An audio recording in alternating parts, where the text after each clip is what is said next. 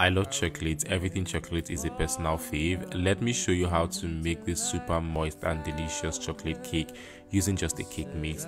Into my mixing bowl, I'm going to combine my eggs, oil and milk.